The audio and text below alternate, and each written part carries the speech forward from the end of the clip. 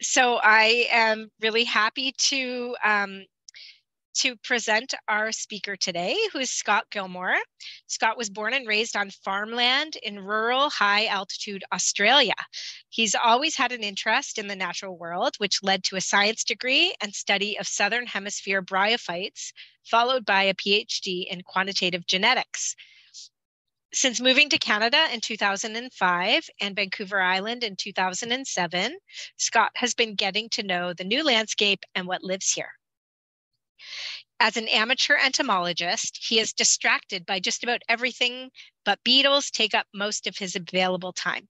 He has a passion for local biodiversity and helping people see and learn what lives right outside their back door.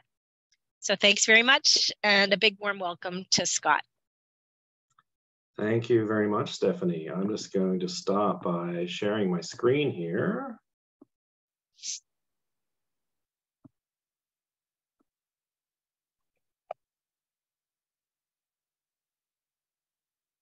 Okay, can you see that? Looks good. There's a little bit of the gray box, but it's not covering anything at the moment. So it's I think yeah, it's good. That's the gray box that's at the top. I don't know yeah. if that disappears or not, but um, anyhow, it's at the top, so it shouldn't actually block anything that's important. Uh, so thanks everyone for coming along to hear my talk today. I want to start by saying that I come, uh, I'm to you from the, uh, the territory of the Nanaimo uh, speaking uh, First Nations uh, which is I live in Lantzville, just outside Nanaimo. Um, yeah, and I'm here today to talk to you about which one is it? The creation of a key to the Elateridae of British Columbia, the Yukon, and Alaska.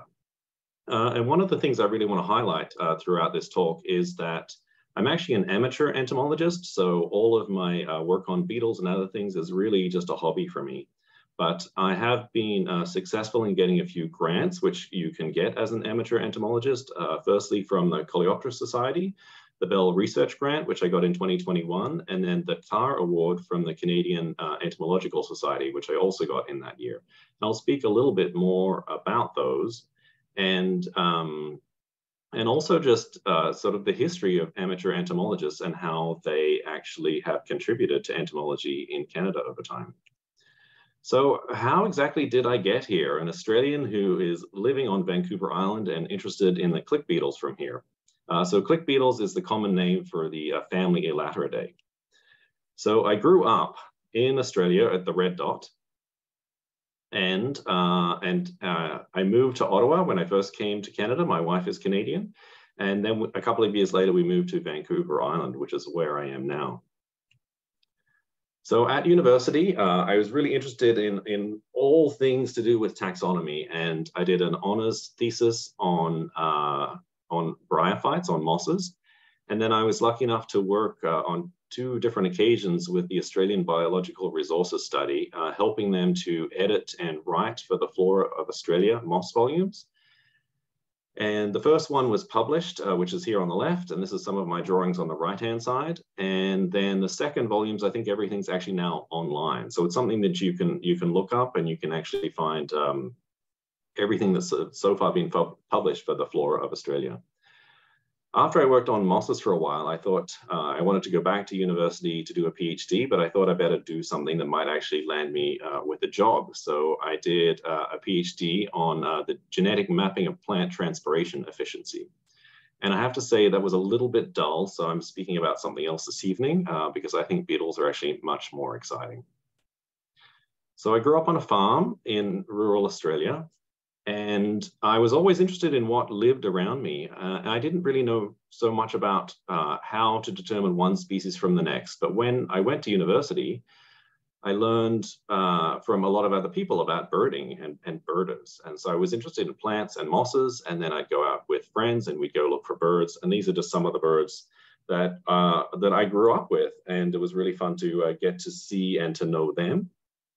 Uh, and that's a hobby that I really brought with me when I moved to Canada. Uh, in, in Ottawa, um, I'd often take my young daughter out in the middle of winter and we go look for owls and other things like that.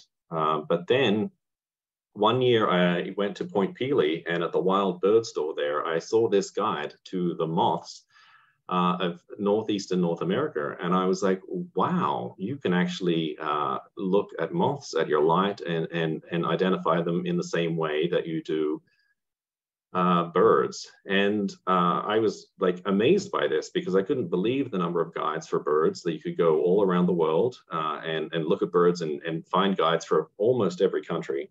And so the fact that there was a guide to moths was something that sort of got me really excited. And so I ended up ordering a copy of this book. And then with my young son, who was four at the time, uh, on the first day that I got the book, the next morning I went out to our light at the front of our house and I found this moth here, this white-lined sphinx, in April of uh, uh, 2013. And so I started to photograph moths. And then with that, uh, I discovered Bug Guide, uh, which was a great place to actually put these photographs up and people would help you uh, identify them. They would tell you what they were. So I put a photo up of the white line sphinx, and somebody told me what it was. And it was certainly a very early uh, sort of seasonal record for that particular species.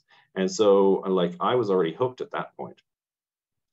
Also on that first day, I saw this uh, Hydriomena manzanita, and this was a species that hadn't been photographed and put on Bug Guide before. So this was like really exciting for me. It's kind of like, wow, you can find stuff that uh, that there aren't actually photographs of so far, or they're not on Bug Guide, and so you can actually be part of contributing to something in a bigger in a bigger way. And so this really took off for me. So every every morning I'd go out and see what moths were at the lights, uh, like this Egira, I think it's perlubens, uh, and then Feralia comstocki on on the right. Uh, I know Libby's here; she'll probably correct me if I'm wrong. Uh, it was it was via Bug Guide and putting these particular moth photos up that I first got in touch with Libby and Rick Avis. And that was uh, fantastic because I got to learn about all sorts of new resources as well, like the Moth Photographers Group, uh, and just that there's a community of naturalists out there who are interested in insects. So of course, there's only so many moths that come to your light each night. So when you're excited about this, you can go and take photographs of them, but then what are you going to do for the rest of the day when maybe you're still excited about this? And so I started to photograph other things as well. And this is one of the first click beetles that I came across in Canada, or not in Canada, but, but when I started to look at insects. So this was in June of 2013. And this is a Selatosomus suckleyi. It's quite a distinctive species because it has uh, these you know, characteristic markings on the back and nothing else looks like it. So I could take photographs of this and put it uh, online on Bug Guide and someone could tell me exactly what it was. So it's kind of exactly like the moths. It's, it's quite amazing uh, that you can get this help. But then I would start to take photographs like these two here, and uh, they would only be identified to subfamily or tribe.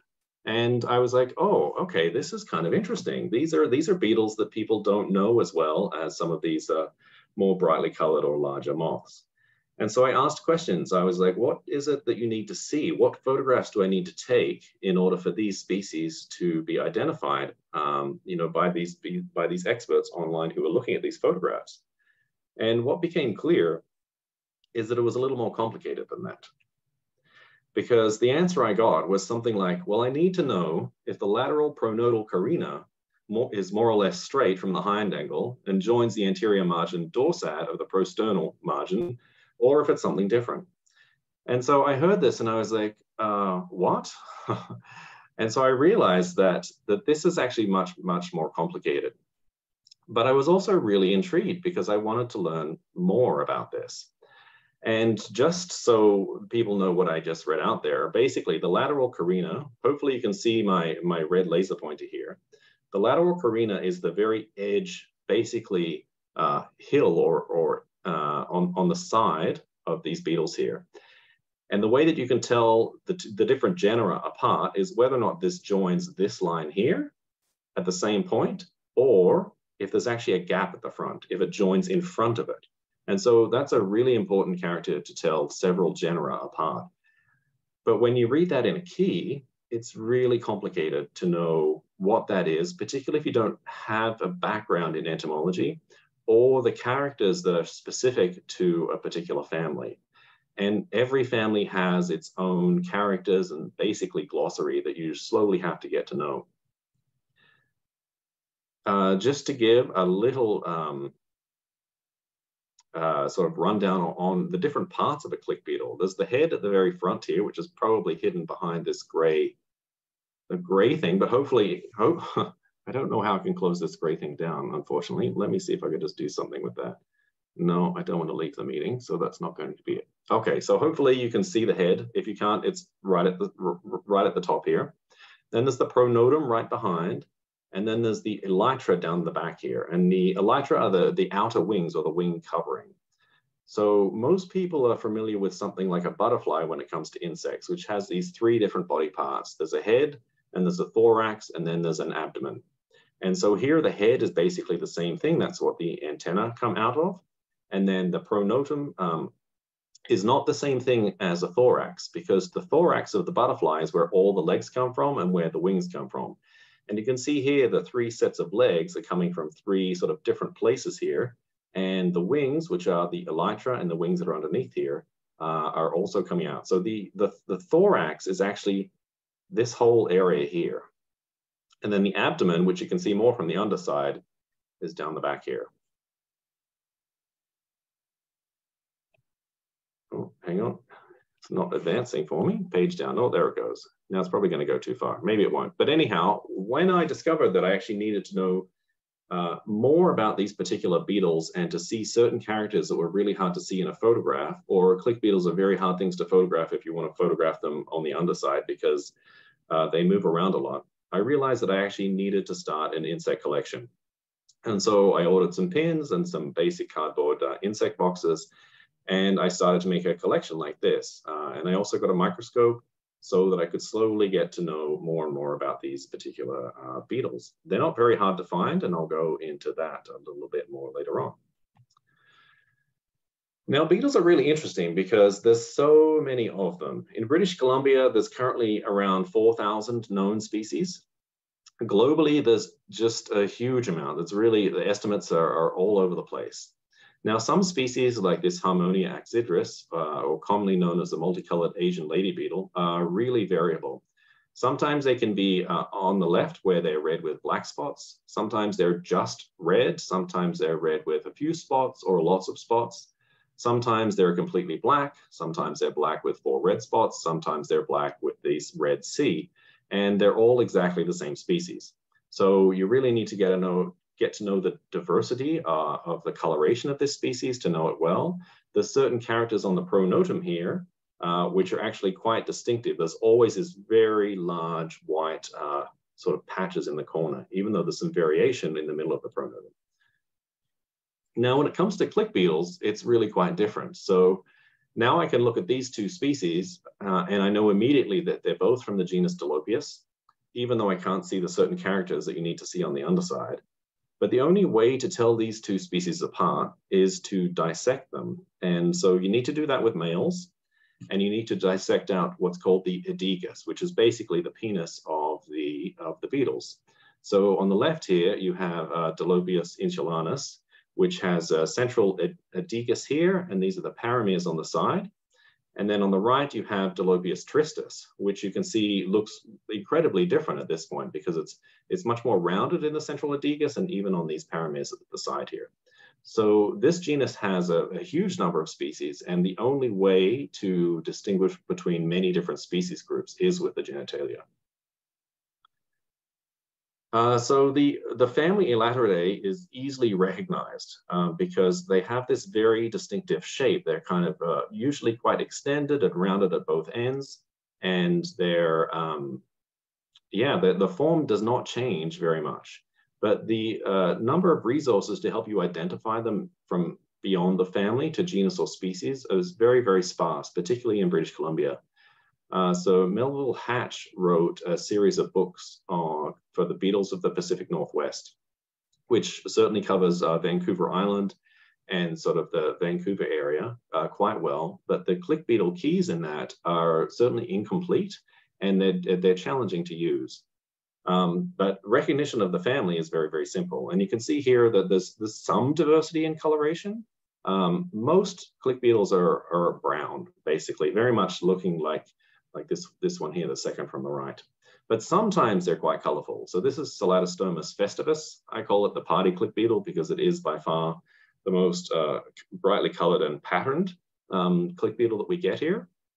Uh, sometimes the click beetles have very distinctive antennae. There's one species, uh, Ctenicera um, kendalli here that has pectinate um, antennae. It's found uh, more in the boreal region. And sometimes it's more brightly colored uh, um, species uh, or that have they, they, have little pockets of, of, bright colors like this gambrinus, which I found uh, just north of Ladysmith. Uh, but mostly, uh, click beetles are do an incredible amount with the color brown. So brown on brown, brown with brown, brown with a little bit of yellow, uh, but quite a lot of diversity. Globally, there are around 12,000 species of click beetle. Uh, I'm going to show you a, a, video shortly where they say there's 10,000, but that's definitely an underestimate. Uh, and they vary in size from two millimeters up to 70 millimeters. Uh, this beetle on the left here, this click beetle, is uh, from the Philippines, and it is exactly 70 millimeters long, so it is the biggest one. Uh, this is the western-eyed click beetle, the second one here, and this is the biggest click beetle that we have in British Columbia, and that is 35 millimeters long. And this click beetle here is from the genus Zorochros, and it is exactly two millimeters long, and that is the smallest click beetle that we have in British Columbia. So there's quite a bit of size variation even uh, here uh, and, and we're not in the tropics where there's certainly a, a greater diversity of, of all beetles. So this is uh, zooming in on that particular tiny uh, click beetle. You can see that it looks very similar to the big, uh, the bigger species, where you can see the head and the pronotum and the elytra. Um, it's just really small. This one lives in gravel besides running uh, rivers and, and lakes. I have yet to actually find this species myself, but uh, I've recently learned a new technique about how to look for them. So I'm kind of excited to try that this spring. Uh, so one of the most distinctive things about click beetles is the fact that they click. And I was trying to find uh, photos that would show this well, and I, I, I, really don't have any. So I'm actually going to show you a video uh, in a moment here. But on the underside of the thorax, or the pronotum here, they have this, um, this prosternal process which sticks out. And, uh, and that is part of how they do this clicking mechanism. So I'm going to stop sharing the screen and I'm going to go across to a video that shows this really, really well. So let me just open that up. And Stephanie, if you can't hear uh, hear this at all, please let me know. Yeah, looks good so far. It's good. This is a click beetle that's stuck on its back. It's kicking its legs, but can't quite get enough leverage to flip itself back over. But that's okay, it doesn't have to. It's an insect that's famous for using its body in a spectacular way to get off the ground and back on its feet.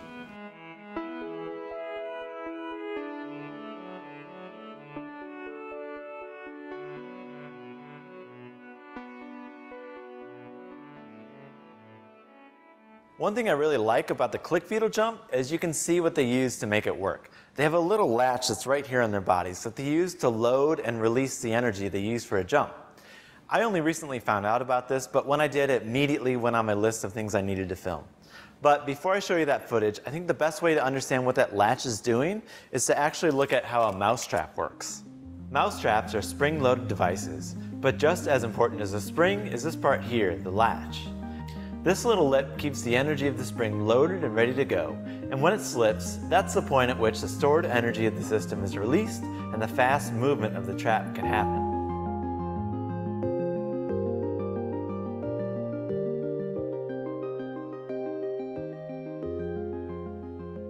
For a click beetle, their latch is on the underside of their body, between the front and middle legs. It's a single peg that catches on a corresponding lip and holds the front of the body in place while their spring is being loaded. There are around 10,000 different species of click beetles, and they all use a version of this peg as a latch. The latch allows the beetle to load an internal spring that, when it's released, rapidly flexes the front of the body and throws the beetle into the air, with its head rocking back and forth, recoiling from the rapid movement.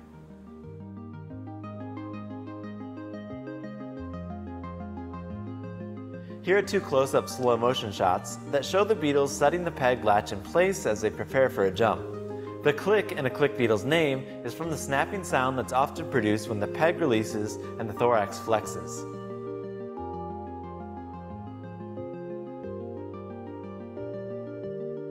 In this sequence, captured at 3200 frames per second, the rapid flex of the beetle sends it accelerating off the ground at 2150 meters per second squared, which is pulling 219 Gs. Other click beetles have been measured accelerating up off the ground at 380 Gs. It's pretty cool that the latch is so visible in these beetles. In other spring-loaded animals, ones that move a leg or a mouth part really fast, the latch can be really hard to see or even internal it's more common to see evidence of the spring being loaded or released. Like, here are two trapjaw ants about to snap. Their head capsules are actually part of the spring, and you can see them release and pop back into form when they snap if you watch here and here.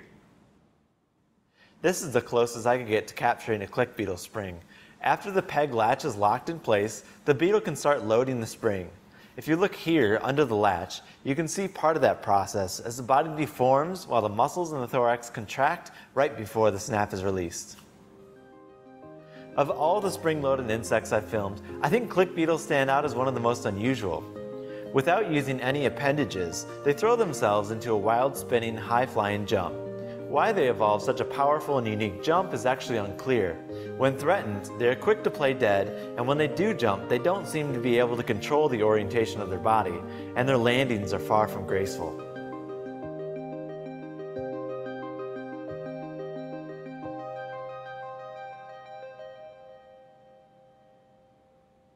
So I'm super happy that I got to film these beetles and see what they do in detail. I think they're pretty amazing.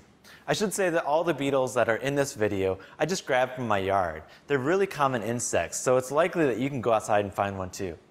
Thanks for watching.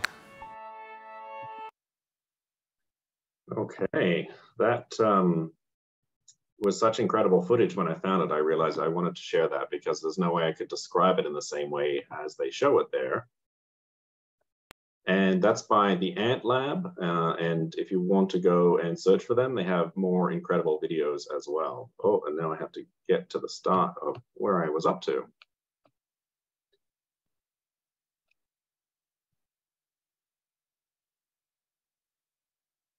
I just put in the chat the link on YouTube to the to that amazing video for those who are want to watch it again.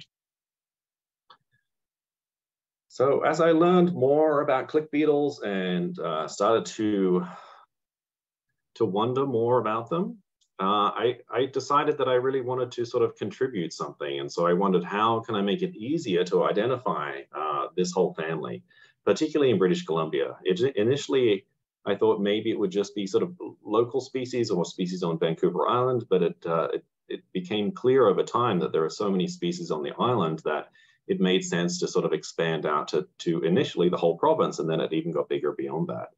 Um, and I did so much learning of the, the, the, the language uh, that I wanted to share it in a way that was just much more um, or much more easily understood. And I thought of doing that through photographs. Uh, but, but where do you start when you want to actually sort of make a key to the click beetles? And with anything related to beetles, the, the place you need to start is the checklist of beetles for Canada and Alaska. And the second edition for that was published in 2013. And when you go there, uh, there are 201 click beetles that are listed as uh, occurring in British Columbia. And there are 34 in the Yukon and 57 in Alaska. Uh, and given that there's only 386 in Canada, you can see that the diversity uh, in particularly British Columbia is really huge. Uh, so there's certainly uh, a lot of different click beetles that you can find here. And if you would just, uh, I took a page from, from that particular uh, book, and this is just the genus Agriotes. And you can see here that just the, the number of species that you find in BC compared to many of these other provinces is, is really quite high. So initially I was just going to do Vancouver Island down here, and then I was going to do British Columbia. But it was uh, Syd Cannings uh, who, when I announced on Twitter that I'd won some funding to do this, who said, hey, what about us up here in the Yukon? And through discussion with a few people, I realized that adding the Yukon and Alaska actually only added four species to my overall list. And then it would, uh, anything that I created would become more useful to a, a much larger area. So it really made sense to expand. And, and what's incredible about uh, this sort of coverage is, although most species actually occur right along the southern border here, this is where there's the most diversity, click beetles are actually found uh, quite at quite high latitudes as well. I saw this species and I was like, whoa, they're found really high up. But then I had a little closer look at it and I was like, four miles southeast of North Pole. I was like, that just doesn't seem right. And sure enough, here is the North Pole, Alaska. Uh, so clearly it's not the real North Pole, it's just a place called North Pole. Uh, I have seen click beetles from there, that specimen, but I've also seen click beetles from up here at Old Crow that were collected by the uh, Cannings brothers. So they do get uh, really far north. So my goal is to publish a key based on uh, pictures and text that will allow anyone with a microscope to identify any click beetle uh, in BC, the Yukon, or Alaska to at least genus. Uh, I'm certainly going to make it possible to identify everything to species, but that for certain genera will take dissection. So that's something that uh, will be only the intrepid among us who want to go there. But it's, it's actually incredibly easy once you've had a little practice doing it. Beetles are very forgiving because they have lots of different hard parts. So it's not actually that challenging. But through the process of uh, thinking about this key, uh, I looked at the challenges that I would have. And the first is uh, so what species are here? Exactly, you know, how many species are there in, in this particular area? So I had the list, but it's like, is it completely accurate? Is everything there really here? And are there species that are not on the list? Uh, the other thing was access to material. I only have, at the time, I only had a very small collection of click beetles. So I really needed to get to the Royal BC Museum in Victoria, the Spencer Entomological uh, Museum, part of the Beaty Biodiversity Museum at UBC, and the Canadian National Insect Collection in Ottawa, as well as continuing collecting to find more beetles.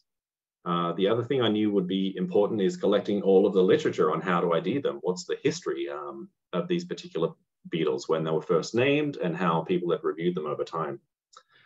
Uh, I knew it was going to be important to collect as much information as I could on the type specimens, uh, I, and amazingly, a lot of these photographs are online now. I knew that it was going to be hard to find certain species to photograph because there are rare species that are not recorded very often, and then I would need to find a specimen to actually photograph to include in the key. And then I wanted to include modern techniques, uh, things such as barcoding. For that, you need fresh material because a lot of the material in museums, it can be 100 plus years old and it's no longer really useful for, uh, for, for doing this genetic work. So I'm just going to go through each of these things in a little more detail, uh, just to sort of outline the challenges that I was facing. So the first was like, how many species are there? I know that the checklist uh, listed 201 species. The Yukon added two more. Alaska added two more. Uh, there'd been a couple of publications since the 2013 checklist, which added another two species. I gave a very shortened uh, version of this talk. Um, I think it was at the Entomological Society of BC conference, and I learned about another species that have been recorded here. Going through the uh, unidentified specimens at the Royal BC Museum, I found two species that were not on the list, including the one on the left here, Megapenthes elegans. Uh, so that added two more. Early results from barcoding told me there was at least three and maybe six additional species.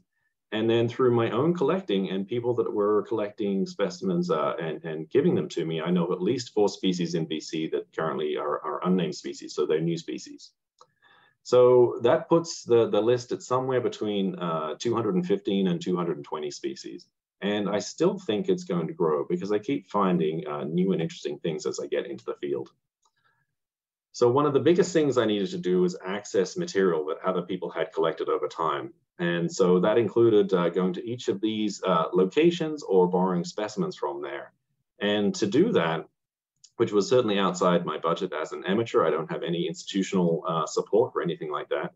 I was lucky enough to get the Bell Research Grant from the Coleoptera Society that funds research uh, into beetles um, on topics or, or in, in, in ways where there's no other way to get funding. So I applied for that in the very first year of 2020, and I was told I had a good application. And I didn't know if they were just being nice or not when they said that.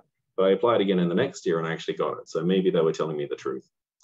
Uh, and at the same time, the Carr Award is from uh, Bert and John Carr uh, set up the, the money for that. And they themselves were uh, amateur entomologists. They were collectors and they collected from all across Canada. And their collection's now at the Canadian uh, National Collection. And I, I, got to see a lot of their click beetles, which was, which was really amazing. And so they're a great example of an amateur um, amateur entomologists that have made quite a significant difference uh, yeah, to the study of insects. So just to show you what some of these collections actually look like, uh, this is the click beetle collection at the Royal BC Museum. Uh, on the left here, you can see all of the drawers. And on the right uh, is a series of drawers of the unidentified click beetles. Uh, what I found was fairly common in a lot of these collections was it's not hard to tell what it is a click beetle and it would get put in a drawer at the very bottom here, which uh, basically housed all of the uh, identified only to family material, which is also often where the best material, you know, is. There's really interesting things there. Uh, so here's uh, on the left is a whole bunch of material, the, the unidentified stuff. But even uh, when you're at the museum and you're going through the, the named and identified uh, material, like this is a box that's meant to contain just Ampedus apicatus, because no one who's worked on click beetles specifically has really been through the collections uh, in BC before, there's, there's lots of sort of errors in identification. And it's taken me a long time to sort of get to know this and to, to go through and, and clean this up. There's the box on the right here actually only has about five specimens of Ampedus apicatus, and it has specimens from at least three other um, well, three other species in that same genus. And I know Claudia is on the call here, and so I can let her know that don't worry, everything's actually already being fixed up from the last time I was there. So the Elateridae are in very good shape at the RBCM now, except I still have a lot of unidentified material to go through. Uh, the next place that I managed to get to was the Spencer Entomological Museum uh, at the at the Beaty uh, collection in, at UBC. You can see the famous whale hanging on the top left there. What's interesting about this collection is that they it holds the Gordon Stace Smith insect collection. And a lot of this material was used by uh, early uh, people who studied beetles, particularly Brown in the bottom left here, to name new species. So uh, these are paratypes whenever they have yellow here, and you can see in this middle, middle photo that there's a whole lot of this material. Uh, so it was really great to see this. Now, Gordon Stace Smith is actually also an amateur entomologist, and I have a little bit more to say to him uh, about him in a moment. On the right here is a collection that was made in the Yukon, and this was a, a newly recorded species for the Yukon. It's known for British Columbia. Um, there's a, a, number of specimens from the Cannings brothers that are held uh, at the Spencer Entomological Museum, and so that has been. Uh, I found some lots of good records there as well from from their collecting. Now, Gordon Stace Smith um, there was a little article in the Entomological Society of British Columbia's uh, newsletter from Melville Hatch, who did the beetles of the Pacific Northwest. And down the bottom here, he says that the Stace Smith's collection of British Columbia beetles is probably the best extant collection from the province. And that really speaks highly to someone who meticulously collected uh, and, and has preserved that material and it's still available and is still incredibly useful and a number of species were named from, from these particular specimens. And uh, Gordon Stace Smith also did some publishing himself. This is a short note that he wrote on uh, what is now known as Pseudanostirus uh, larisis, which is an incredibly rarely collected beetle and what he wrote in this particular article is, is all that I know about where it can be found. And I've seen no modern uh, collections of this particular beetle.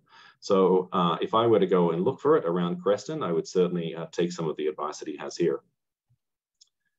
Uh, this is a little look at the click beetle uh, drawers that are actually at uh, the Spencer Museum. I think that there were 15 of them, and there were around seven of them that were just jam-packed full of beetles that needed to actually be identified to genus and species. So I've been there a couple of times now and and identified everything there. So so that's another collection in in um, in BC that's now in much better shape. But the same thing was true there when I was looking through the boxes of Aurea identified material. Uh, for this particular one, I pulled out three different uh, other species as well.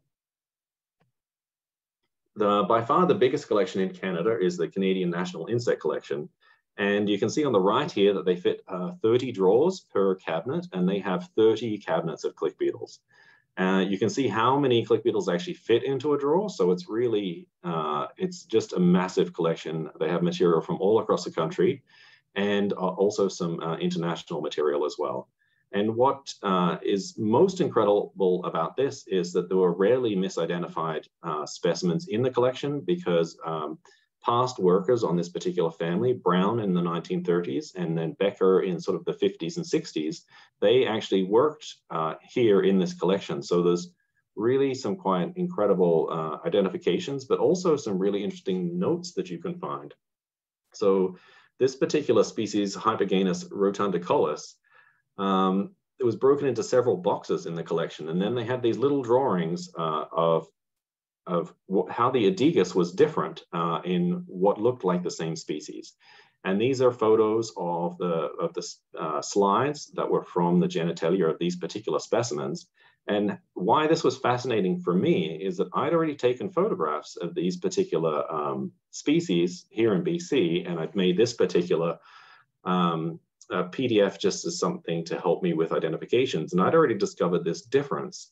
And uh, so it's really good to have it confirmed that, oh, this is something that's been known about. And so uh, this is, it's just one of these challenging species. Uh, which particular, which one of these two is that species uh, and, and, is the other one something different?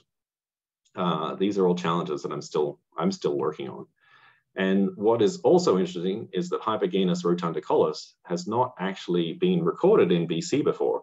So there are these other two species. So it's a very complicated genus that hasn't been reviewed in a long time. And uh, it's something that I'm slowly working on because it's quite an interesting group because you only find this particular species much later in the year.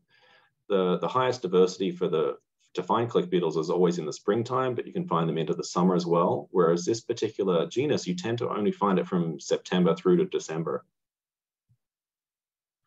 Uh, other interesting little bits and pieces that you can find at the National Insect Collection. Uh, there was this, uh, it says Corymbitodes angularis, which is now in the genus Ctenicera.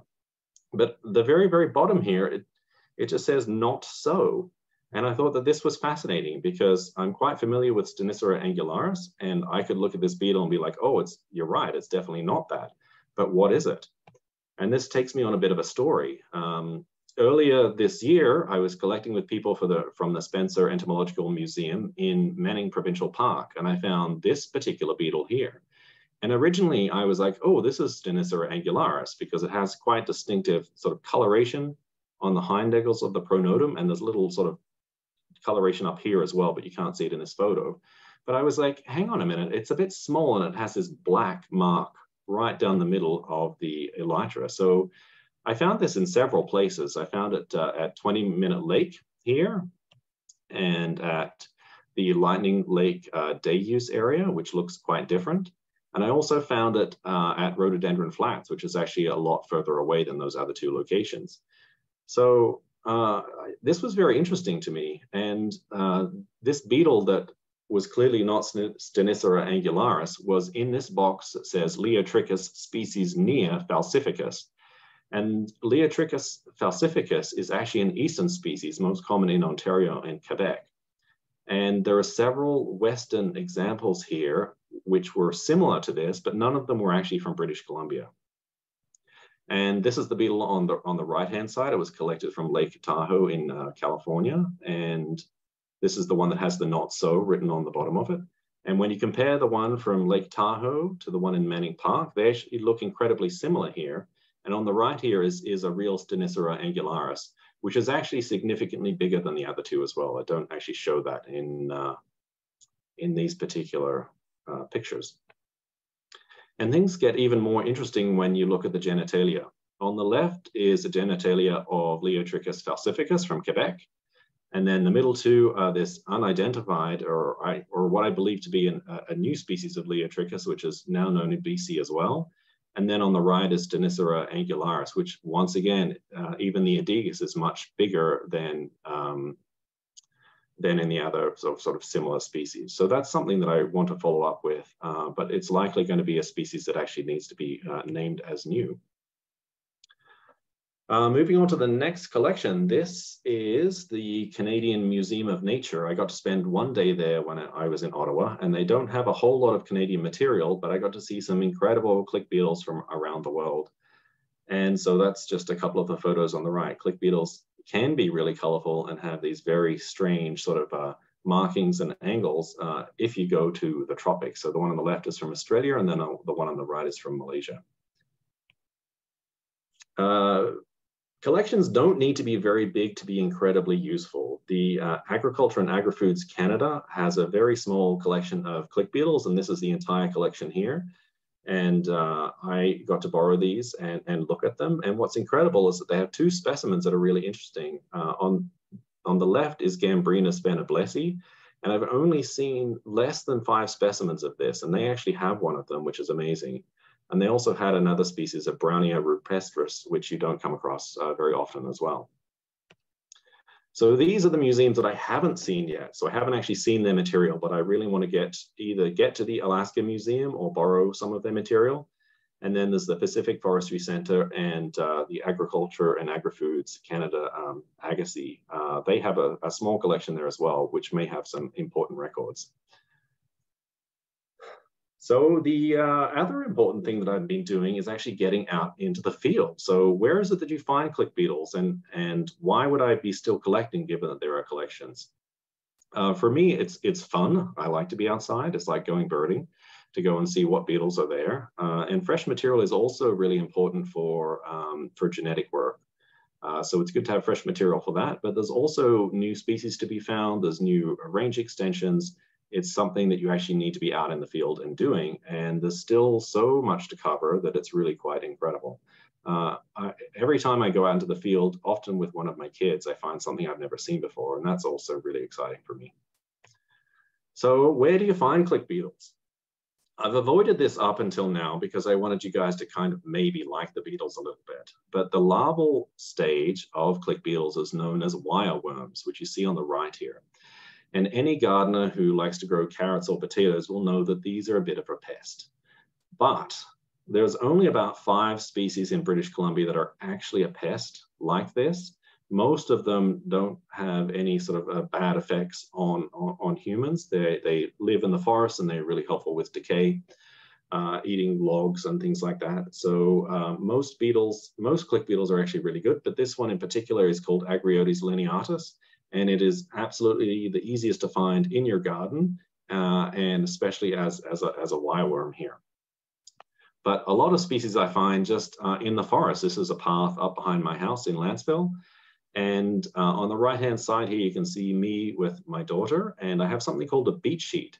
And I'll put that under a branch, and I'll take a stick or, or my net, and I'll hit the branch, and whatever's on there will fall down onto the sheet and then you can collect it with an aspirator there, or you can actually just see what's there. And if it's something you've already collected or stuff you're not interested in, then you can uh, tip it back onto the forest floor and then they can uh, go about their day. Uh, now these beat sheets are really, really helpful as I discovered this summertime. Uh, this photograph is taken by Rick Avis. Uh, I was collecting with my son uh, as part of the Whistler BioBlitz this year, and it was incredibly hot in the sun. So they made a really good uh, sort of pseudo umbrella as we were going from one place to the next. I really like collecting in sort of open fields like this. So this is on Mount Sutil on Gabriola Island, and that's my daughter uh, photographing something there. Uh, this is the only place I've ever found uh, Melanotus uh, longulus uh, on this coast was on this particular tree. Uh, other good places to collect are up in the mountains. Uh, this is, is sort of a melt pond just below Eagle Chair on Mount Washington. And my son and I collected six species from this pond in about five minutes. And one of them was an incredibly rare species that uh, and, until recently I'd only seen a couple of specimens of. So that was a really exciting find. And then there's a few other locations there and a very exhausted son of mine from, uh, from collecting in the Callaghan Valley. Uh, this is another shot from Manning Park, another great place to collect be click beetles. Uh, I think I got close to 30 species there across two trips this year, so there's really quite high diversity there. Now, generally, I collect them. Uh, I collect beetles from from the beat sheet, like actually hitting vegetation, particularly new growth in the spring. But you can also find them under rocks at high altitude, or this is a river between Pemberton and uh, Whistler. And the rocks on the side uh, of the river here, um, if, particularly if you look on the right, I was flipping these rocks thinking I might find uh, some species of, of, beetle that I could add to their, to their list. I wasn't thinking click beetles in particular, but when you flip over a few rocks, this is what you find. And when you get your eye in, right here on this rock, and then over on the right-hand side, right here on this rock, is a very interesting species of click beetle. Here it is when you zoom in. Um, this is a species that uh, only lives next to rivers, and I'd never found it before. And I found, well, I found this species and another species at the same at the same time. It's uh, Hypnoidus squalidus, and uh, was is is this one. And it was really exciting for me to find that because they're not that common in collections. And I'm sure that's because not that many collectors are actually flipping stones and looking for three millimeter long beetles uh, next to fast flowing rivers. But it's something I certainly want to try and do more of. Uh, this is uh, actually collected or photographed by uh, Trevor and Chloe Van Loon uh, up in the Pemberton Meadows. And this is an unknown species of Microhypnus. I actually have these specimens. They're about two millimeters long. And we have no idea what it is that they're eating, but they found these in a riverbed under stone. So that was quite an exciting find as well. Um, the next, well, one of the other challenges I had to do was to collect the literature uh, from click beetles are related to the species that are found, found in British Columbia. And most of that is really quite old. Uh, certainly Brown in the 30s and Becker in the 50s wrote a few really useful pieces, uh, or actually Becker up into the 70s, I see in the bottom right hand here. But there's also the original descriptions, uh, which, which are mostly in the 1800s, and they're really important uh, pieces of information to actually know that the species as you're describing them now fit with how they were named. Um, there's modern literature is also really relevant. So there's changes that actually keep coming out. Back in uh, 2019, Frank Etzler published parts of his PhD thesis where he took one genus Limonius and he actually split it up and now there's Gambrinus and these other two species as well. And then just late last year, Blaine Mathison uh, published new genera as part of his um, his publication on click beetles of the southeastern United States. So these genera here are actually uh, also found in British Columbia. So there were certainly some taxonomic changes that came along with that. And it's something that I've had to sort of ad adapt and actually work into what I'm doing so that I, I keep up to date with that, with what's, uh, what's known about this family sort of across, well, across North America and also beyond. Uh, one really interesting change that hasn't actually happened yet, but it's likely to happen in the future, is that uh, Hume Douglas and, and other people have done uh, quite an in-depth uh, study using molecules of click beetles, and they've discovered that the fireflies, or the, the family uh, Lampyridae, of which we have a few in BC, most of them don't actually light up, but they're they're not that uncommon in denser forests here, but they're actually part of sort of the greater click beetle family. So over time, it may be that they actually become part of the family, but I'm hoping that that shift is, isn't made too quickly because that would increase the number of species that I need to work on. Uh, so type specimens are really important because that is what the original description and name comes from. So whenever somebody publishes uh, a new species, they should designate a type and where that particular specimen is housed. And many institutions have actually started to take photographs of these type specimens because they're really important, but this way they become accessible to way more people. So on the left here, this is a Aeana striatopenis, and this photograph is taken uh, at the Canadian National Insect Collection. And it's really um, amazing quality and very useful to have. But there's also um, other institutions like the Museum of Comparative Zoology at, at Harvard. They've uh, they've managed to take all of their specimens uh, that, are, that are types and photograph them as well. So this would have been named by LeConte. So probably in 1853. And so this specimen is somehow older than that. And, and it's just really great to be able to just go online and access these because it's very challenging to get to everywhere where they have these particular uh, specimens housed. Sometimes uh, type specimens are the only known example of that particular species. I was really excited to go to the Canadian National Insect Collection this summer because uh, there were certain species that were on the list that I'd never seen. They weren't uh, at the RBCM in Victoria. They weren't at the Spencer Museum at UBC. I'd never collected them, and I was hoping that I would find them um, in, in the collection in Ottawa. And for some of them, that was true. But the Ctenicera tristis just wasn't in the collection there. So I spoke with Hume Douglas, who was there, and together we looked into it a little bit. When you go to the original description, which is in Latin at the top, and then uh, I believe French in the bottom, we, you see it's actually collected from the Isle of Vancouver. And this was named by Candèze. And his type specimens are, are held at um, the Natural History Museum in London. And luckily, Hume knew someone who was visiting there at the time, and he asked him to go and look for the type. So Robin uh, Kundrata took these photographs of the type specimen. Uh, and in looking at it and in, in translating the description, I knew immediately that this was actually uh, Liotrichus umbripennis, which shows quite a bit of variation in the black on, on, on the back. Um, and so, so this species is actually going to be a synonym of, of, of, this one. So that's something that I'll be publishing as part of my key as well. And it takes one species off the list. Uh, one of the really challenging things, and that was a great example, is actually finding everything that's on the list and finding a specimen so that I can take a photograph of it. So this is the only example of Ancastus anthrax that I have seen in a collection anywhere. And one of the best things about the pandemic and staying at home in uh, 2020 was that I spent a lot of time in my backyard. And one day in April of 2020, this beetle flew through. And so this is the second example I know of Ancastus anthrax. And it just happens to be a male, and it just happens to have also been barcoded now. So I've managed to do some genetic work on it. So yeah, that was really, it was just lucky that it, that it actually came along. It took me quite a lot, quite a while to identify it because it's quite a strange beast. But uh, when I realized what it was in the end, it was yeah, I was very excited. Uh, some other examples of really rare click beetles. Uh, on the left, this is the only specimen that I'm, uh, I'm aware of from BC of Ancastus uh. Uh, the one in the middle here is new for British Columbia, and there were two specimens at RBCM. This is Megapenthes elegans, and they're both collected from Victoria it, itself. So that's quite interesting. Uh, generally, it's a species that occurs on the coast of California and Oregon. So this is quite a long way north. And they were both collected in the early 80s, and I certainly wonder if it's still in Victoria.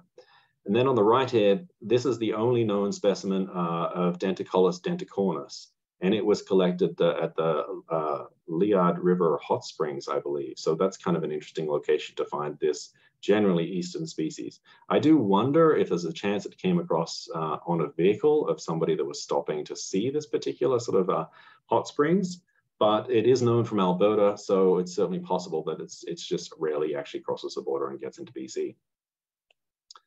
So these are the two species, uh, Dalopius cellatus and Neohypdonus niblii. These are the two species I have not actually seen in person. Everything else I've come across so far and managed to record it and get photographs. Uh, the top one is only known from Alaska, and I'm trying to track down the type specimen in Finland right now to get photographs of it. Uh, and the other one is actually really well uh, documented. It's a relatively new species named in about 2000. It just so happens that no museums that I've been to has a specimen of that. So uh, hopefully one day I can actually track down one to, have, to get some photographs. What's more interesting, uh, these are just some of the species that I've seen and photographed that are not on the list.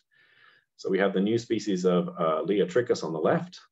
This is a new species of Limonius that is known from uh, Nanaimo down to Victoria. So an incredibly sort of well collected area, but this is an unnamed species. I know of at least two species of Microhypnus, this little one in the middle here, that are both unnamed. And then the two on the right are uh, range extensions. This is uh, Ligmagus olympus, which uh, was in the unidentified drawer at the RBCM, and then the Megapenthes elegans again, which was also there. And there's more species as well that, that, that I have, um, that I've come across that are not on the list. Uh, so the last part, or the last thing that I wanted to do was to do some barcoding on these uh, on these species because it's something, it's a really good independent way to see if there's more diversity in a species uh, than you can see visually. Or to understand if perhaps things that look a little bit different, if you think back to the lady beetle I showed you earlier, are actually the same thing. And I was lucky enough to, um, to work together with people for the Center for Biodiversity uh, Genomics at the University of Guelph. And I sent off three plates uh, of material, which I thought it was, there's 285 individuals, and I expected there to be around 106 species. And I've actually got a couple more plates that I plan off, on sending off soon. And so barcoding is where you take one small region of the genome, uh, and it's the same spot in, in each of the samples, and then you uh, you amplify it. So you, you, get you know something that looks like this, and you, the colors is just a nice way to represent it. But it's lots of lots of different uh, letters, A's, T's, G's, and C's, that, which you can then do phylogenetic analysis on and compare them. And this is something I do a lot in in my actual day job. So it's nice for me to do that on, in something that I'm interested in as well. And when you do this analysis, you'll find that the same species or specimens from the same species should group together and you expect there to be a gap between the one that one species and another one and that would look something like this. So this is a great example of how uh, barcoding is working really well and that the species concepts also make sense. Because they're grouping together and there's a gap between them and, and the other ones. But there are other areas uh, like this which we're going back to the genus Hypnus again where there's only two known species for British Columbia on the list, but there's clearly at least three different uh, species that we can see here. And I'm fairly confident that these are the three different species. I just need to work out exactly what species name goes with what individual and if they're all named or if one of them is actually a new species. And that's actually a really slow process.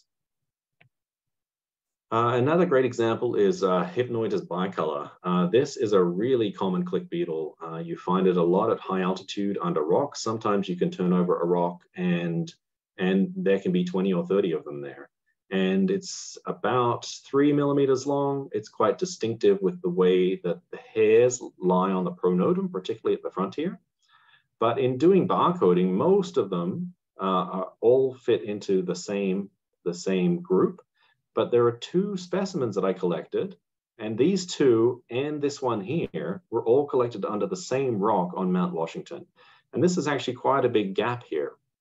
So I haven't found any morphological features that distinguish them yet, but there's clearly more species uh, within this group than uh, than was previously thought. So that's something I want to look into a little bit more as well. And I'm hoping to sequence more of this particular individual or this species from, from other locations to see if I can find more examples and then hopefully find a morphological feature that will distinguish it. So this whole talk was actually meant to be about a key to the species uh, of click beetles for British Columbia. And right now, not much has happened on that. So there's really been a lot of planning and a lot of learning for me. Um, but I can show you a little bit about what the what the key will look like or, or what its purpose is. Uh, it's really important for me to make the characters like incredibly clear. And uh, if you were to read somewhere that the tarsal claws, claws were pectinate, uh, that can be quite confusing. But if you can know that they're comb-like and then actually have an example of what it is, it makes it much more, much easier uh, to to go and look for that feature on, on the beetles if you have a microscope and you have a specimen in hand. So I really want to focus on really distinctive characters. Does it have this? Does it not have that? Anytime there's characters um, that are, are, are confusing uh, or, or challenging to see, I wanted to add sort of visual clues to make it more obvious. Uh, and this is a great example here of what uh, the front of the beetle's head actually looks like. And, and then there are times when uh, the features are, are, less obvious. Like if the third and fourth antennal segments are about the same size, like on the left here, this is one, two, three, and four, they're about the same size. But not every individual is going to be perfectly like that. Or maybe sometimes the antennae have fallen off. And so in that situation, I'd always want to give another character. And here I've got the, the densities of the punctures on the pronotum, which are really quite different between these two species. Um, these are two species of Nitidolimonius and they're incredibly different from one another. And the easiest way to tell them apart is actually by dissecting them. But there are features on the outside that you can use. And so I'd always want to focus on features that require less skill to, to see because dissecting does take more time and it is more challenging.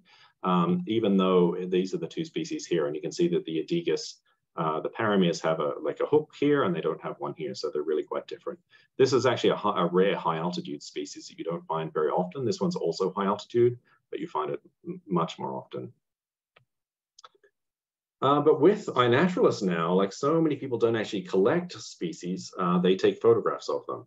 And so I really want uh, within my species descriptions to just offer as many clues as I can about how to identify from, from photographs. Um, this isn't a great example of a photograph because of the angle, but there's, there's only three species uh, in British Columbia that are uh, like metallic green like that. And one of them is short and fat, and the others are long and thin like this. And there's only one of them that actually has really extended hind angles like this. So these are the kind of clues that I'd like to put into some of the species uh, descriptions so that it's actually useful for things like iNaturalist as well. Uh, uh, Stephanie, there's another link that I sent you uh, about this guide on the left-hand side here. If you could put that in the chat. Um, yes. Wonderful. I helped uh, write this guide uh, as part for the BC Parks iNaturalist project that's been running for a few years now. They um, wanted to put together a guide on basically how to take photographs. And so these are some of uh, some of the photos that I added to that. This is an Australian beetle, just encouraging people to take the first photo from above and then to take more angles because the more ways that you can see it, the more features that you can actually see. And another example of the one on the right here where I, the key, the traditional key like I'm writing isn't necessarily going to be useful for identifying a specimen like this one on the right, is you can't see the claws here, even though the claws that are hidden in under the leg here are pectinate, which tells you exactly what species this is, because there's only one species of click beetle in BC that has pectinate tarsal claws. So this is Melanotus longulus. Um, but I know that it's that species from the photograph because it's really elongated and it has very large uh, punctures on the pronotum. And so that's actually another distinctive feature. It's not one that I would use in the key, but it's something that I'd certainly like to mention so that people who, who look into it a little bit more will be able to identify from photographs as well. Uh, from here, because there's so many species, I really want to break the key down into subfamilies. There's five different subfamilies in British Columbia. And the first one that I want to work on is the Elaterinae, uh, of which there are around 62 species. Uh, and so hopefully uh, I'm going to really start working on that soon now that I've uh, visited most of the museums that I need to and, uh, and move towards publishing that. I need to get to the final museums or get specimens from there or data from there so I can include uh, distribution records. I still have lots of material to identify at the RBCM, so I want to get back there soon. Um, there's always new places in the field I want to go and I have a couple more plates uh, that I want to send for barcoding species that, that I didn't have last time. Uh, excuse me, that I went to uh, to do some of this work. So I'm excited to add uh, add some more data there so that we can actually learn more about uh, the genetics of these particular uh, species. And I have an, a huge amount of photographs to take. And that's something that for me has changed quite a bit over time from my initial terrible shots with my point and shoot camera to slowly getting a better camera and then moving on to sort of uh, stacking photos from uh, a microscope. So I want to take as, as many good high resolution uh, photographs as I can to include in the key, just to make things uh, really as obvious as possible for people to see. Uh, this is something that's that I have in here because it's from a previous talk, but I left it here, request for specimens. And because I'm talking to the Victoria Natural History Society, I really want to encourage people to keep an eye out for this particular click beetle. It's around a centimeter long. Uh, it was originally collected in Oak Bay in the 1980s. And if anyone sees a spotted click beetle that looks something like this, I would certainly love you to grab uh, the specimen and put it in your freezer and contact me uh, at any point. Um, there are only two females that are known from BC, and if I could get my hands on fresh material, I'd love to do some genetic work on it. Uh, or if I could get my hands on a male, I'd love to dissect it just to confirm that it definitely is that species because this particular species in California generally has really distinctive uh, red kind of color on the hind angles of the pronotum here. And there are examples in Oregon that look more like this. So I do believe that this is the right species, but uh, of course, I would really love to confirm it with some of the, the genitalia. If anyone likes to take photographs and not actually collect specimens, I encourage you to do that and put them on iNaturalist because uh, I all uh, photographs of click beetles automatically go into this project for the click beetles of the Northwest. And this is something that I set up. So I see everything that comes through here. And Blaine Mathison, who is another click beetle person from uh, the Eastern North America, and I generally keep an eye on this. And so you'll usually find that most of them can get identified to at least genus, and it happens relatively quickly. And if you find anything else as you're out uh, looking, I encourage you to put all sorts of photos on here. They're really good uh, records no matter what group they are. Uh, earlier on, I mentioned Chloe and Trevor Van Loon, and I just wanted to um, highlight some of their collecting that they've done for me. They're very adventurous people and they like to go into remote mountain locations in BC and, and collect in really interesting ways. And so they have found some incredible specimens for me that I have not found where I've actually gotten to. And so they like to collect uh, on, uh, on snowpack because there's often beetles that will fall out of the sky onto that. Um, but they get into the most incredible locations uh, and it's been invaluable to have uh, specimens from them and other people that have collected for me as well. But you don't have to go to these incredible locations to find amazing things.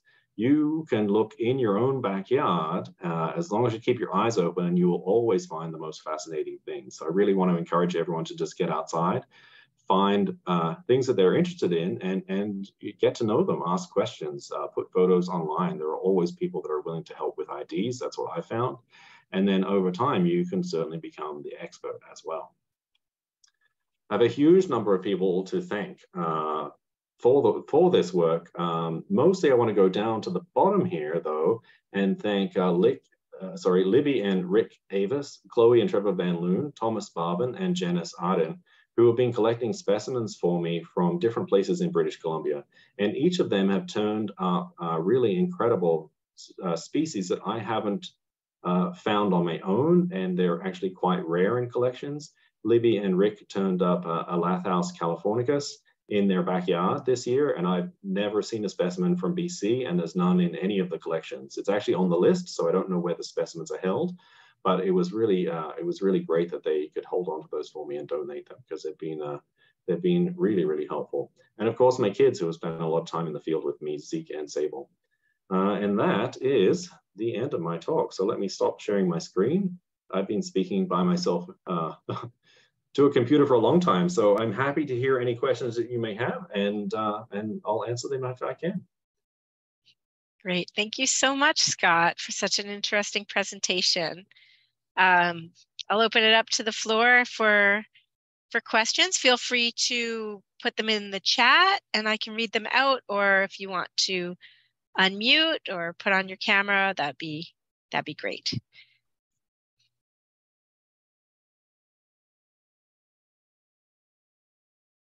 I always have lots of questions that I can fill, but I'm giving other people a chance first.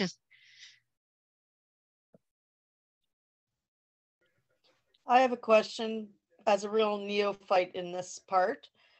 Range, climate change, and will your project ever really be done? Because how do you eliminate beetles that are no longer around in this region, like in your geography? How do you measure? At what point do you set lines around that, or do you have a vision of how to do that? yeah that's a that's a really great question because there's so much that we don't know. Like there's there's a list published from the 1950s of the click beetles from vancouver island and just my own collecting here i found so many species that are not on that list. And i don't think they've moved here i just think that people haven't collected yet uh, or not collected in the same way that that i have. Um, basically if there's a collection uh, of that species anywhere, then it's made it on the list and it will stay there, even if it's never going to be found again, because some of them are, seem to be quite rare. Um, and in terms of change, I think that uh, one of the new pest species in uh, the Pemberton Valley has probably moved up. Is it climate related? I don't know. Um, but if it's being found here, it'll be on the list there's certainly there's at least two species that were on the list that were misidentifications at the Canadian National Collection. So there's a couple of species that will come off the list. Um, but yeah, the, the line is kind of drawn there. And in terms of will my project ever be done, uh, I don't know. Sorry, I didn't make to make that a. I mean, no, that's okay. I, I have no I have no goal about when it's going to be finished because it really is just a hobby for me. So as soon as it's not fun, I put it down and I go do something else.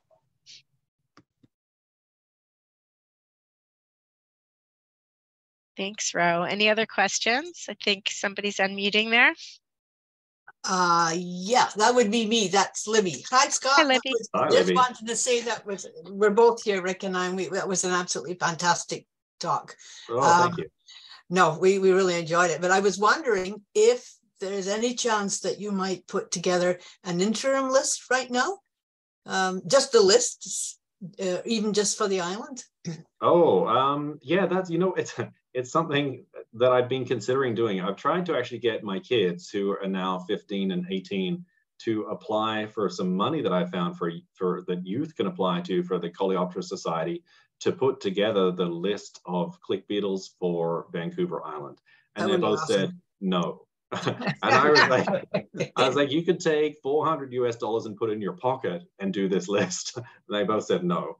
Uh, Yeah. But yeah, that's something I haven't actually considered is is is putting that list together because I have several records for the Yukon that are new, um, but I have I haven't done it yet. But if I do, I'll certainly send you a copy. That would, that would be awesome. The other thing I, I we found particularly interesting was this business of looking under rocks, both Mm. along the edge of, of creeks and and up in the alpine, because we go up Arrowsmith a fair amount in the summer. And it had never occurred to me to look for something as small as a two millimeter um, plate beetle under a rock. But yeah, so we'll give that a shot. Yeah, yeah, absolutely. And one of the things I learned from Hume Douglas uh, this summer is that if you take uh, a Ziploc bag to a river and you put a rock in it and you fill it with water and then you pour it over the gravel, all of the beetles that are in there will slowly come to the surface. Ah, So it's a really good way to search for these really tiny beetles, of Yeah. which uh, some of the smallest ones is very few in collections because, of course, it's such a specific habitat um, that they're really like they're hard to find. And so part of going through the Spencer collection is I found uh, there was a, a specimen of Zorochros from Ontario that was new for the province. So I'm actually writing that up now. So there's lots of interesting material there, but there's so little of these tiny specimens uh, that there's still new things to find. Yeah. Okay, thanks. There we go. Unmute. How do I? There's a question in the chat. Um, I think you said there were three species of metallic colored click beetles in BC. Is that correct? And then there's a second part that I'll read to you. Yes, that is correct. There are there are three. There's the possibility that there's a fourth. There's a very rare species that's only found from sphagnum bogs in Washington. People have looked for it here, but they haven't found it yet. But it might be here. And now another part of that question is there a species where one sex is metallic green and the other sex metallic blue? I have pictures of what I think are mating click beetles matching that description that I will email you. Yeah, I'd love to see those photos. My guess is it's Nitidolimonius resplendens, uh, of which can be all sorts of colors, definitely green, blue, purple, all metallic, but they're all the same species. And if they're mating, then one's male, one's female, but there's no, um, there's no real pattern to uh, the sexes having different colors, but there's definitely diversity in in the in the coloration. They're mostly green, but there's certainly I've seen some ones with uh, with with quite a lot of blue in them as well. Okay. Um, so Jenny, if you could send your pictures to to Scott, or she said that she also posted them to iNaturalist, and this was in the Columbia Valley, south of Invermere, along the Okay. West Side Bicycle Trail. Um, yeah, and just some people saying thank you, and some other notes there. Um, any more questions for Scott?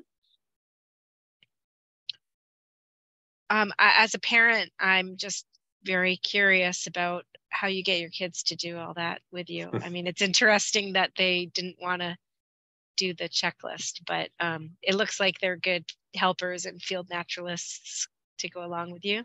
Yeah, it's definitely changed over time. Like my daughter used to be more interested, and then it became uncool, so uh, she didn't do it. But my son and I, uh, like, we just love to go and, and look for stuff. And as soon as he realized he could come along to to Whistler uh, to the BioBlitz and actually um, and actually be part of that, Uh, and he got to see uh, and meet a lot of the people that had written the, the field guides that are actually right behind me here uh, and chat with them. So he's learned a lot that way. But his latest interest is, is mosses. So he's become really um, fascinated by those. Before that, it was fossils, which is still a big thing. So I can't really get them into uh, insects entirely, but uh, just to get outside with them and explore together. It's what I've loved to do since I was a kid. So to, to show it to them as well and to be part of it with them is, yeah, it's a lot of fun. That's awesome. Another question in the chat from Jenny. Can you identify male and female beetles without dissecting them? sometimes. uh, the, the one with the pectinate antennae, only the males have that. Um, other ones, there's slight differences in shape that you kind of get to know over time. The females tend to be bigger, um, but with something like Dalopius, uh, no. you, you kind of start to dissect them and you're like, oh, no, sorry, um, can't, can't do that one. So yeah, different genera, you can do it. And a lot of that is just sort of practice. And then there's others it's just you have to dissect them and then you find out. But it's incredibly easy to do. Like i just take a one of the insect pins and i put a very small hook on the end. And then uh, i usually uh, freeze my beetles as the most common way that i kill them. Um, and then as they thaw out you can just take this hooked pin and basically go in the back give it a twist and pull it out and then the aedeagus is there and you just need to clean it up with small pins uh, so it's not it's not that challenging, but it did take a little while to you know to get quick at it. Um, another question we have: How I think that's a typo. How are barcodes made? Oh, okay. So some basic genetics here. Um, you take a specimen uh, and you need to extract the DNA from it. So generally, I have a, like a beetle specimen, and I'll pull a leg off and I just put it in a container and send it to Guelph. They do it. But what they're doing is that they actually crush up this leg and then they go through an extraction process where they get the DNA out of the cells and they get rid of all of the rest of the material. And then they have very specific, um, basically really short pieces of DNA that are called primers that stick to, to very set places. And then they make lots and lots and lots of copies of that particular region and then they use a machine called a DNA sequencer that actually goes through and reads that particular area. And, and, and then you can do the work from it. So uh, it's called Sanger sequencing. It's been going on since the late 70s. Um, there's new technology now where you can do oh so much more, but this is uh, still a, a, really helpful way to just understand some more about species diversity. Thank you. There's a nice comment in the chat also. Um, thanking you for your passion about the topic and clear communication. This is a useful life's work. Amateur entomologists have really helped this field. Um, one thing from that really stands out to me is um, you're an amateur entomologist, but it sounds like you are really becoming the expert in the field on this group of insects. And my question is um, all of these drawers filled with um, click beetles that haven't been identified. Is that due to a lack of expertise or a lack of uh, time by the experts that are around the world or yeah um, so there there is no one that's currently an expert uh, for for click beetles for the pacific northwest outside of me there, there are a number of people that work on click beetles but it's primarily on the pest species and how they actually affect crops. And so it's a lot to do with pheromones. Um, and it's it's only these like the five-ish species that are really a problem. So um, there, like there are, there is one North American expert, but he spends most of his time working on stuff from South America, and I've communicated with him a lot, and uh, and I work on them all the time. So I think I probably do know more than anyone else about them now, and that's just it's just time spent, like exposure really. Uh, but there are other people that have done work in Montana and then Blaine Mathison in the Southeast. Um, and they have been really helpful with sharing the knowledge that they have. And I'm more than happy to share the knowledge that I've accumulated too, because of course, together we, we, we get to learn more. Uh, I think the reason that there's so many unidentified click beetles uh, in collections is that they're really easy to identify to species, but there are no resources right now that are user friendly to let you go beyond that. So unless you have exposure to the family or it's one of these species that's really quite distinctive, it's it's almost like it's too hard. Um, and I think that's why I like them so much. It's like I really like the challenge. Um, one other quick question about the beetle that you mentioned that was in Oak Bay, that there's just the female specimen. Is that a Garry Oak specialist or habitat? Do you know its I, ecology? I, I know, I don't, I don't know any more than that. I know that there were the two specimens that were collected in the early 1980s. Uh, it was Oak Bay and somewhere just north of there. I don't remember where it was, but um, it hasn't turned up again uh, in, in collections, but it certainly may still be there because I don't know how many people are running around collecting in Victoria. Um, yeah, I guess it certainly could be Garry Oak, but I don't even know in California if anyone's actually um, mentioned where it's been found. Hmm. Yeah, a lot of that material is is missing from the literature. Uh, generally, you know, this specimen was collected at Creston, and you don't even know what habitat or anything. So for me, it's been a lot of um, trial and error in terms of how to find them. But but now I find that generally uh, everywhere I go, you, I, I, find click beetles. If it's the right time of year, like they're incredibly abundant, and I've just gotten sort of good at, yeah, at finding them. Or sometimes they get stuck in my beard, which is actually a really good thing for me.